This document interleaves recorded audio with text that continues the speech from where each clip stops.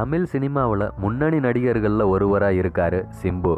சொந்த வாழ்க்கை சினிமா வாழ்க்கை அப்படின்னு எல்லாத்துலேயுமே பல சர்ச்சைகளில் அவர் இதற்கு முன்னாடி சிக்கியிருக்காரு தற்போது முப்பத்தேழு வயசாகும் சிம்பு இதற்கு முன்பு நயன்தாரா மற்றும் ஹன்சிகா ஆகியோருடன் காதலில் இருந்திருக்காரு.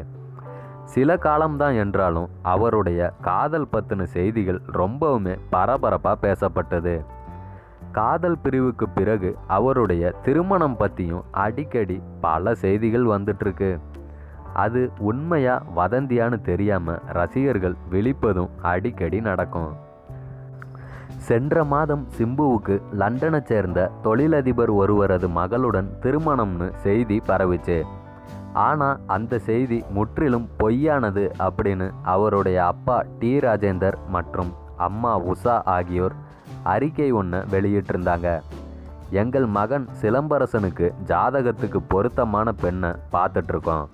பொண்ணு அமைஞ்சதும் சிம்புவோட திருமணம் பற்றின செய்தியை நாங்களே அதிகாரப்பூர்வமாக அறிவிப்போம்னு சொல்லியிருந்தாங்க. இந்த நிலையில் தற்போது சிம்பு மற்றும் த்ரிஷா ஆகியோருக்கு விரைவில் திருமணம் நடைபெற இருக்குன்னு வதந்தி பரவிட்டுருக்கு சிம்பு எப்பவுமே எல்லா விஷயங்களையுமே ரொம்பவுமே வெளிப்படையாக பேசுபவர்.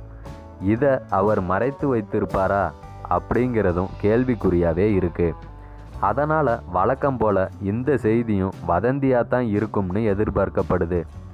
இந்த கொரோனா லாக்டவுன் நேரத்தில் வதந்தி பரப்புகிறவங்க கொஞ்சம் ஓவர் டைம் பார்த்து தான் இந்த மாதிரியான வதந்திகளை பரப்புகிறாங்களோ அப்படிங்கிற சந்தேகமும் இருக்குது சில வருஷத்துக்கு முன்னாடி த்ரிஷா அளித்த பேட்டி ஒன்றில் சிம்பு பற்றி பேசியிருந்தாங்க. சிம்புவை எனக்கு ஏழு வருஷமாக தெரியும். அவர் என்னுடைய டைப் இல்லை. அவர் கூட நான் காதலில் விழமாட்டேன். அவர் என்னோட சிறந்த நண்பர். ஒரு நண்பர் கூட காதலில் விழ முடியாதுன்னு நான் நம்புகிறேன்னு த்ரிஷா சொல்லியிருந்தாங்க. மேலும் சிம்புவும் தான் அளித்த பேட்டிகளில் த்ரிஷா ஒரு சிறந்த தோழி என்று மட்டுமே சொல்லி வந்திருக்காரு. த்ரிஷா மற்றும் சிம்பு ரெண்டு பேரும் ஜோடியாக நடித்த விண்ணை தாண்டி வருவாயா படம் ரெண்டாயிரத்தி பத்தில் வெளிவந்து ரசிகர்கள் மத்தியில் மிக பெரிய ரெஸ்பான்ஸ் கிடைச்சது. அந்த படத்தில் ரெண்டு பேரோட கெமிஸ்ட்ரி பற்றி தான் ரசிகர்கள் அதிகமாக பேசினாங்க.